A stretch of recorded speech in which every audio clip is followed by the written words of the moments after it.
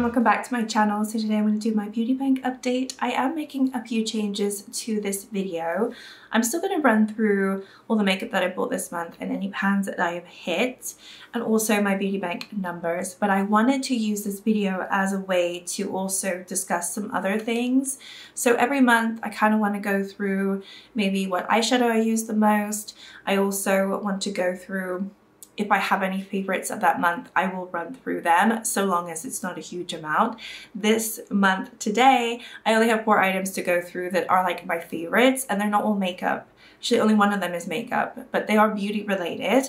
I also want to add towards the end of the video, because I'm sure some people won't care, but I want to talk about like TV shows I'm watching and my quick thoughts on them, and also any movies that I watch this month. I am on Letterboxd and I'm trying to be uh, a little bit more I don't know, organized in terms of my thoughts on things like that. And what better way to wrap up the month than to talk about certain things in the media. So I want to talk about that and also maybe what songs I'm listening to, artists I'm listening to on Spotify because I listen to a lot of music every single month. So yeah, we'll do that at the end of the video. Let's get into the standard stuff. I have switched around my room and I'm still playing around with the lighting as well. So if it's a little bit off today, bear with me. I actually have moved my desk completely. My desk used to be over there in the corner. That corner is empty now. Um, you still kind of see the same background. It's a little bit different. I'm sitting in a different space. I have a beauty sort of desk now. My my actual like office desk is over here. So I'm hoping to put, I mean, this has nothing to do with anything, but I'm hoping to put a futon here so that we can eventually, when we have people come over, they can sleep there and I don't have to sit in a room with a bed that basically is empty all year long. So anyway, that's what that's what that's what I did this that's what I did today. Basically moved my whole room around. So I'm a bit tired, my nails are all fried and like everything is like chipped. But let's go through it. I did buy quite a lot of makeup this month. I did travel, I went to England and I just bought some makeup. I didn't even buy expensive makeup. I bought everything is drugstore very, very affordable items, but I still bought it. So let's go through that first. I did end the, uh, the last month on a negative 16 points. So actually for the whole of 2023, I bought 67 makeup items. I was looking at my notes and I bought 67 makeup items. And this month, I bought a whopping 10. I bought 10 makeup items crazy amount. And they're all small too. None of them are eyeshadow though. I mean, I know in December I bought a lot of eyeshadow, so that's why my points just went down, down, down. But yeah, oh gosh, I'm not starting off the year very well. I'm not on a no buy. I am somewhat on a low buy. However, I'm not going to be very strict with myself evidently. So the first item I want to talk about is this one. I picked this up I don't even know what where I got this. Probably Superdrug or some other place. So Sky High mascara. I've tried the original. This is just the super like jet black one. So that one is actually the only new item that I have yet to try because it's mascara. I don't want to open it up. I did buy two things from Primark, one of which I think I've spoken about quite a bit. Uh, I spoke about it in my Shop My Stash and it is the Prep and Perfect Primer. This is supposed to be the Bobbi Brown dupe. That's what they were trying to imitate. I think it's a, I think it's great. I really love this product. I've used it so much this month. Um, I mean, so much. I've had it a month, but you can see I've really definitely gone in there. Yeah, like I'm gonna, I'm gonna be done with this before I know it. And I've just pulled it for my shop my stash so I'm definitely to be using it over the next month as well. But yeah, really, really nice. Got it for £2.50 so super pleased with that. Not that £4.50 is very expensive but yeah, it was the January sales and I was like, okay, fine, not. why not? I wanted, to, I've always wanted to try it out anyway because I have the Bobbi Brown and I love my Bobbi Brown. It's so expensive. So yeah, I wish I'd bought a few more of these because it actually is really nice. And then I also got this from Primark. This is a blush. It's a coral blush. You know, I love me, my coral blushes. And this one is really nice too. So it is a win-win for me in terms of uh, Primark so far. This is a matte blush. The finish is beautiful. It's not patchy. It is the perfect color on my skin. I love it. And this was £1.50. So I think I did very well. Anyway, moving on, I did buy quite a lot of lip products. They're all from Maybelline. I got another lifter gloss. I already have two of them. I have, I wouldn't be able to, like ice. I think one of them is called ice and the other one's called amber. Maybe I have three of them. Oh, I think I have three others actually. The other one I don't really remember. I don't really like the other one. It's more of a movie pink.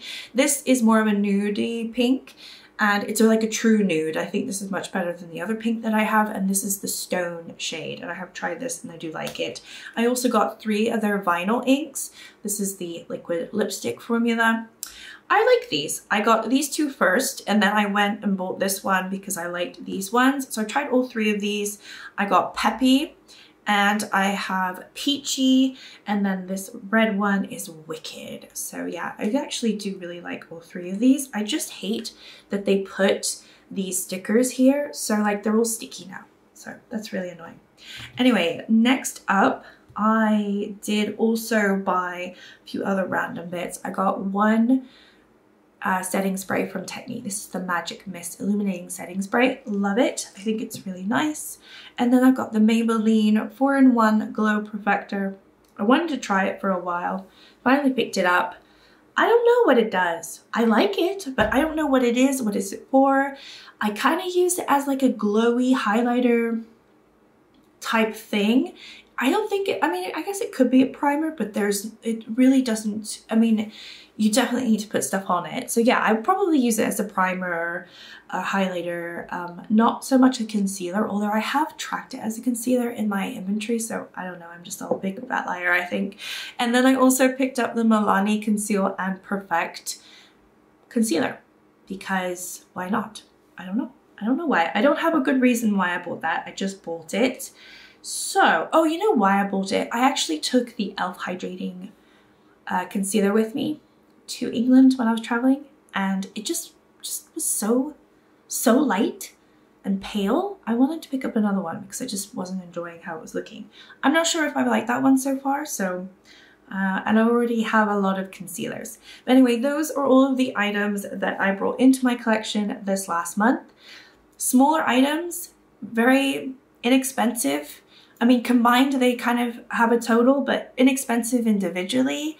However, it's still 10 items. So now I'm at negative 26. Let's try to like let's try to reverse that. So I did end up with two pans this month. I did speak about them in my project level up videos. If you saw it, then this is not a spoiler. I hit pan in the avocado toast lemon pepper. This is this was my level two uh, one. Now I'm on level two. I hit pan in the shade right here. So that was exciting. And I also hit pan in the Canyon palette from Alter Ego.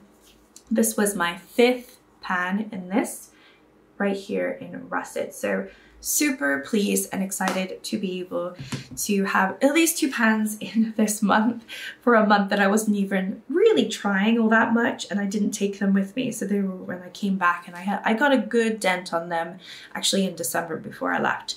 So pans it typically would be um, half a point each. However, I'm going to be nice to myself this year and I'm going to give myself a point for them. I already deduct two points for eyeshadow palettes and I do feel like I hit a pan every single month or one or two, whatever. So I know I'm not finishing an item and usually if I finish an item then it would be a point back in my in my beauty bank but I'm going to be nice to myself this year and every single pan that I hit is going to be a point. So that's actually two points back into my collection. So that means that I now have, um, I'm still at a negative, but it means it's less, it's less uh, bad than it was. And it's a negative 24, right? So we're still going. I did actually finish two items this month. I finished the Mascara Curl Bounce mascara, I think it is. I originally rolled this into my um, 50 Shades of Yellow slash Gold for the Fantastic Ladies last year, and that's obviously still ongoing. I just stopped updating it and I stopped really tracking any of that uh, back in September time. So I did finish the item. It technically counts towards that project, but I kind of stopped doing that project, unfortunately. So sorry, everybody. But I did finally finish the mascara. And then I also have finished this brow gel. This is the CBD brow gel from Primark that I have had for like three or four years. So I wanted to get this out of my collection. It's not technically like finished finished, but it's so old and disgusting and manky. So I'm basically decluttering it and also calling it empty because I have used it a bunch of times over the years. So anyway, I am to add these two points back into my beauty bank. So now I'm at a negative, what, 22, something like that it's still bad. I mean, it's still bad. I'm trying to cheat with my points and it's still bad. So I know, I know, but it's fine. I don't mind. It just means for the next few months, I just need to be a little bit more wary about what I'm buying. Um, normally, I don't really buy that much lip products, so I bought quite a lot. I'm not going to say that I'm not going to buy any eyeshadow palettes though. So if an eyeshadow palette comes out and I really want to buy it, I'm going to go buy it. So I think that's just what's going to happen. All right, moving on. So normally that would be like the end of the video, bish bash bosh, goodbye. But because I'm going to do something different this month and also this year, I am going to be talking about some other things. So one of the things I want to talk about, I will probably change what this is every single month, but this month straight away, I just want to say like, what's the eyeshadow palette that I've used the most? What is it?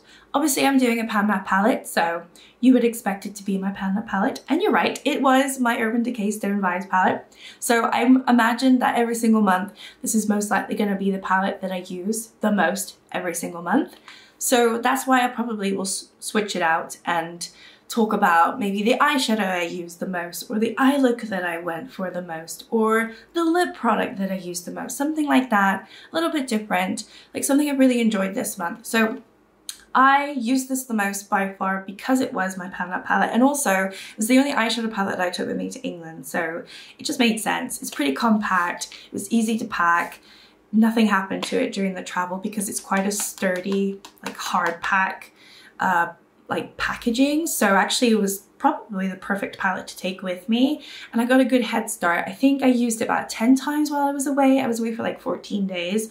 So, um, and then since I've been back, I think I've used like three times. So it's about 13 times in total that I've used it this month. January is a really long month though. So definitely have been using some other palettes since I've been back and it's kind of taken a back seat. Uh, but yeah, I don't want to show you inside because I want to wait until my Pan palette update. I don't want to spoil that. So you'll have to just wait. But that definitely is the palette that I've used the most this month. Okay, next up, let's talk about beauty items that I have really enjoyed this month. I think I've only done a favorites video one time, and that was three years ago. I'm not going to bring it back but the way that I am bringing it back is talking about it in this video with you right now. So I'm going to talk about four items. It might be three items next month. It might be one. It might be six. Who knows? But today it's just four items that I really just want to talk about and I've really enjoyed. And, you know, I just, just if you have them, let me know because it would be, it would be fun to talk about them. So the first one I've actually already spoken about and it is the, the Primark primer. I think this is so good and by far one of the best products that I've used this month. I am, I, I did, my expectations were like, like tiny, tiny for this product. I mean, I've, I've always like kind of liked some Primark products. They're, they're, they're good for what they are. They're just a couple of pounds and that's it. But this is really nice. This is, not Bobbi Brown. Like it doesn't smell like the Bobbi Brown one at all because it has a very distinct smell. This one doesn't smell of anything. It's super lightweight on the skin. It feels really moisturizing.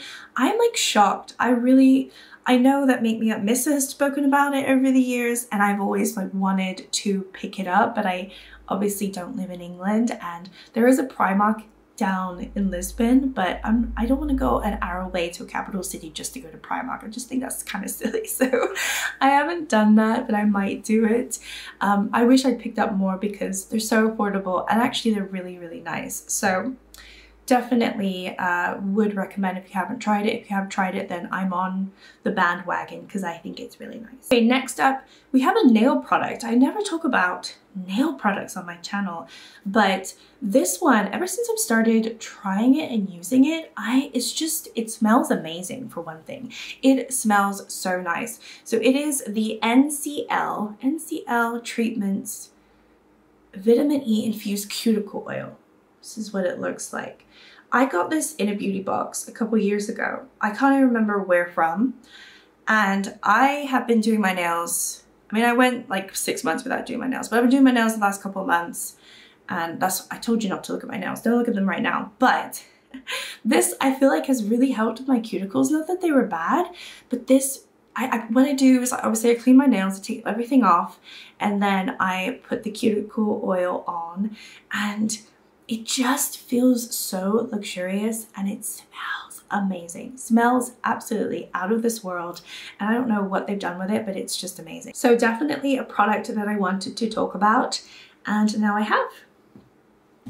Okay, next up I have a perfume. I barely talk about perfume as well, but I really like this Carolina Herrera perfume. Isn't it stunning? I don't remember what this is called, so I'll put it on the, the, the front here if I remember. It's something kind of sexy, I think. I think it's some. I think it's one. It, it, it, all of her things are these beautiful shoes. I'm just trying to see if they have the name on them. Uh, but I got this from my mom. She, she's literally the only person that gives me perfume and I, I'm very pleased about it because I've asked my partner to get me perfume in the past and he just still doesn't do it. It's just, at this point, I don't know why. anyway, so I, when I first got this, I wasn't a huge fan. I think I got it like a year ago, but I've been really enjoying it ever since I got back from England. I've just been spraying it like the last two weeks and honestly, I've just been loving the smell. It's so spicy and kind of fresh, but I think it's that spice that I really like. And I don't, I don't know anything about perfume. I don't know the undertones or whatever. Well, I don't know anything about it or like the different notes. You have like the first note, the second note, whatever. Couldn't tell you a thing about it. That's like the, the most that I know about it. And I'm not going to get into it either, I don't think but this is very spicy and I like it. So I wanted to talk about it. Okay, and then I have, what else am I talking about? I have one more thing. One more thing that I'm going to be talking about in terms of a favorite item this month. And it is so nice. Oh my goodness, I am going to definitely buy this again. This was actually a gift. So I got two boxes from Stylevana and I've been slowly testing them out.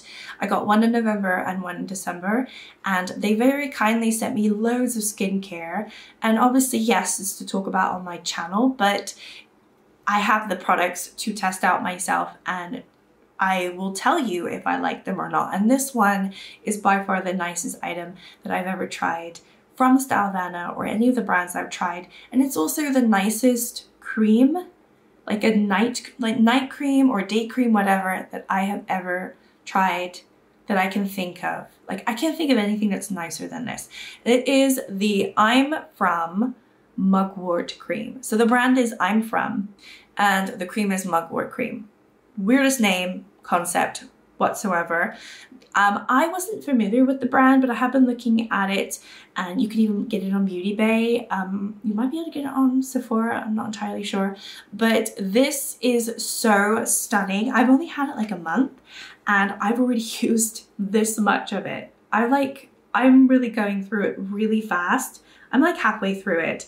I love this. I took it to England, so it was the only cream that I had. Since I've come back, I have been testing out a couple more that they've sent me, but this is by far the nicest product that they've ever sent me or that I own that I've tried. So, and I've tried most of the products so far. So I would say if you're gonna buy anything or try anything, it's gonna be this one. I do have a link down below if you wanna grab it or grab it anywhere else that has nothing to do with me, just try this. I think it's so nice. I even have the Charlotte Tilbury night cream, which is like over a hundred pounds if you get like the full size. I have a little mini sample and that is nowhere near as nice as this. This is so much nicer. So if I'm gonna scream about anything, it's gonna be this product. All right, so we've come to the end of the beauty part of the video. Now we're just gonna talk really quickly about what movies I've been watching, what TV shows I've been watching, and also what songs and artists I've been listening to this month. Okay, so in terms of movies, I am on Letterboxd and I'm really trying to uh, get more into it. So I only watched three movies this month, which actually is quite a lot because I really really don't watch movies anymore. I used to be such a movie buff and I watch I would watch movies all the time and as as dorky as this sounds, I had a spreadsheet and I had like a tracking system. Before you would do it online, I did that all. I did that all back in the day. So yeah, that's me. Hello, that is me. I am the problem. I am, I know. Anyway, so I watched three movies. One of them I watched with my mum when I was in England. Um, we were just like struggling what to watch one night and so we put on Queenpins. This was with Kristen Bell and a few other people, like Vince Vaughn was in it randomly. It was silly. It was based on some, like loosely based on something that happened of to the extent of what they spoke about, but basically these two women um, are neighbors and they come up with the idea of stealing a bunch of coupons, like you know when you get the free coupons randomly, they come up with the idea of stealing these, stealing the coupons from the uh, from Mexico where they have the, the factory, and then they sell them online you know, and they just make millions because obviously couponing is a big thing. Uh, so yeah, that is what the movie was. It was very silly. I gave it two out of five stars. I don't think it was all that great. I think there were definitely silly moments, but it was just a little like at the end. Like, I don't know, it just, it wasn't as good as it could have been. It could have been a lot funnier and goofier, but um, I always feel like with like that with movies and they just, they always let me down. They always let me down. So that one I gave two out of five. So yeah, if you've seen it, let me know. And then I also watched Lift with Kevin Hart. I watched that when we when I came back uh, with my partner. We watched that on Netflix a couple weeks ago now. Feels like a lifetime ago, but it was a couple weeks ago now. And that's just a silly, it's a silly heist movie. You know, they, they're just thieves and the government wants them to steal from this bad guy and they have to steal it on an airplane airplane and it's just silly and the concept is so ridiculous. It, it does kind of feel like it was built in an AI generator and then the movie producers were like this would be great if you put Kevin Hart in there or some other guys you know we could have like explosions and stuff. You know I can just like see movie executives thinking that way and then obviously getting the money for it, selling it to Netflix or whatever. It just didn't seem like a human being made this movie or wrote the movie. It was just kind of really silly and ridiculous. A lot of green screens as well and CGI. I gave that a two and a two out of five as well. I didn't think it was very good. So the best movie that I watched was the last one and it was Killers of the Flower Moon. Oh my goodness. Now, this was a good movie in my mind because of the what it was about. And I think it was really well done, really well acted and executed, and I did really find it fascinating and interesting to watch. However, it was three and a half hours long. Martin Scorsese doesn't know how to do short movies. He loves these really three plus hours long, and I I don't have that time to sit down and just literally do nothing and I don't have the attention span to watch a three and a half hour movie. You know, it's it's just not in me. I have stuff to do. so me and my partner, we started watching it and we watched it in two days. We watched half of it one night and then we finished it another night. I don't think he liked it very much because it's just the type of movie that I would imagine he's bored watching it. It's not like full of action and all that stuff. But I really liked it. Like I actually had like my grandfather like was Native American, right? I have a lot of that heritage in my family blood. So for me, it was really fascinating seeing what happened in the 1950s. Like I, I don't have any ties to these tribes, but basically in the movie, and it is based on real, real things that happen in the world, right? This actually happens, as disgusting as it is.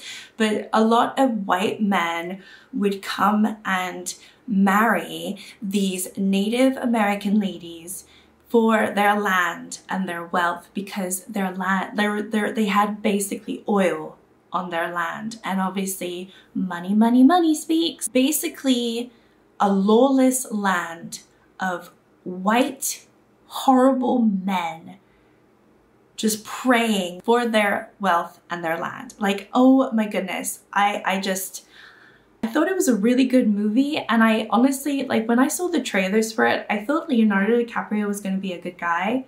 he's not a good guy. And I was like, oh shit, he's not a good guy in this movie. So I really enjoyed it.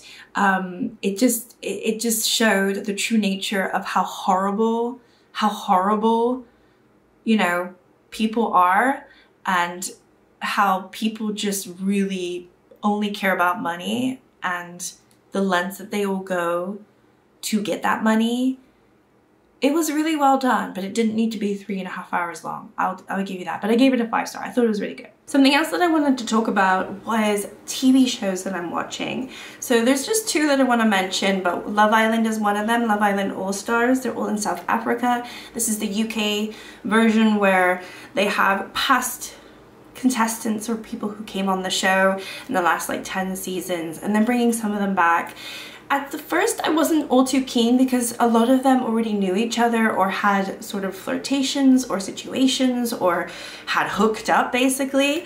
But as it's gone on, I've actually really enjoyed it and Messy Mitch is definitely messy. Uh, I have missed a couple of episodes though, so I definitely need to catch up on like what's happened recently, but definitely a show that I can binge. I, I feel like that show is really good in the midway point and then you know at, the beginning it's kind of boring it gets really good and like silly and juicy and then towards the end when they're all trying to win and they're all lovey-dovey it gets super boring again. So I usually don't watch the end of this show but right now it's like at that juicy point so I'm definitely all in. Another show that I've been watching is with my partner. We just recently started watching this a few days ago and it's The Brothers Sun and this is on Netflix. It is so fun. It's basically uh, Chinese mafia uh, meets silly Californian sort of vibes and, and it's just, it's very goofy and kind of slapstick but also like there's some serious undertones and there's like blood and, and, and some, you know, not gore but you know, it's, it's, it's, it's silly but it's just not silly. Like there's definitely body parts and stuff like that, but and blood and uh, whatnot. But I think this is really fun. This is basically about um, a son and a father who live in Taipei and they're in the, uh, like they're mafia and for whatever reason, I don't want to like spoil it if you haven't watched it, but the son has to come back or like go find his mother and his younger brother in California because the family has been split up for several years. Uh, it's basically to protect the mother and the, the the younger brother and he like the younger brother had no idea of his family. Like he doesn't know who his father really is. He knows of his brother but he doesn't know really what he's been doing like most of his life or for a good chunk of his life. So he's like been like thrown into this world he's like this big nerd and he just wants he's in medical school and he does improv. It's just so silly but but fun and I've been really enjoying that. So if you've watched it let me know but I've we're like on episode five and we're just enjoying it. All right, and then quickly, just on my music, so my top tracked songs this month is Tattoos by Renee Rapp. I couldn't even tell you what that song is, to be honest. I can't even like think of what that is, but I apparently I listen to it a lot. And I also listen to Good Life by OneRepublic a lot. An oldie but a goodie. And um, I did actually listen to quite a lot of OneRepublic this month, not, not intentionally. I don't know really what happened. I think I was listening to a, a 2000 mix or a 2010 mix and it they just popped up a lot. Um, one new artist that I listened to um, was Ren. I I think I don't think I ever had ever heard of Ren. And then I saw his uh, I Am Ren video on YouTube and I was amazed and I watched it and then I watched reactions of it and then reactions of reactions and reactions and I was like, oh my gosh. So I actually ended up listening to him on Spotify. So he was one that I listened to quite a lot this month. I wouldn't say that his music is actually my type of music, but that particular song like like his performance of that song amazing if you haven't seen it go look at it very very talented person really hugely talented person um, but yeah, I listened to him. He was the new artist of the month for me. And then I also, somebody else that I listened to quite a lot, but I think I remember listening to them in December as well, is We Three. Um, they have some really, really heartbreaking songs, and then they have some really like upbeat poppy songs. But yeah, they kind of ca ca caught me off guard. Um, so I listened to them as well. Love Hozier, listened to him quite a lot this last month. Listened to Matt Hanson, I do love my country music. And uh, I listened to James Bay and Vance Joy and the Lumineers quite a bit too. So those are my top listens of the month. That is my monthly wrap up of January. I might do something a little bit different for February, like a different type of thing, but let me know if you liked the video and hopefully you come back. Thank you so much and I'll see you all next time. Bye.